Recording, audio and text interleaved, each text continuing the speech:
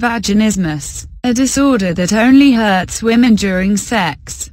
My body won't let me have sex. When your body just says no to sex. Vaginismus is a sexual pain disorder where women experience an involuntary tightening of muscles around the vagina whenever penetration is attempted. Few know about it, even though a 2017 study found that nearly 1 in 10 British women find sex painful.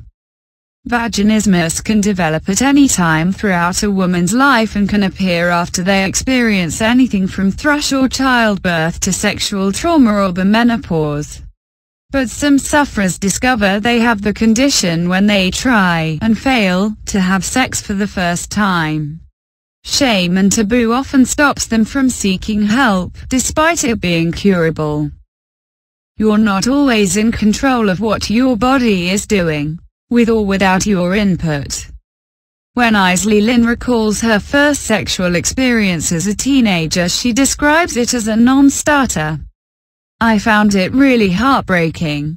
I felt like I was broken. I felt at fault for something that wasn't my fault.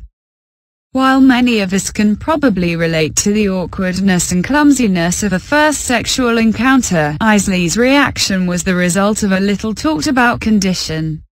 Isley, now 30, still has vaginismus and is touring her play, Skin a Cat, which is all about her experiences.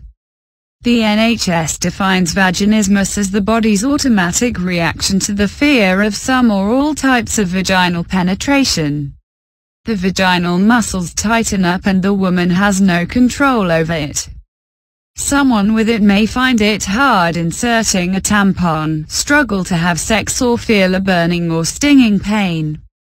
Isley says, I tried my first tampon when I was 10 years old. It was excruciating, it felt like there was no hole, like there was a wall in front of where a hole should be. I knew something was seriously wrong after my first boyfriend.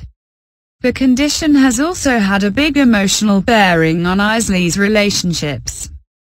I remember feeling really afraid that partners maybe thought I just wasn't in love with them or I wasn't physically attracted to them, she says. The playwright was diagnosed with vaginismus in her late teens and was treated with vaginal trainers which slowly increase in size to try to relax the muscles, and physiotherapy.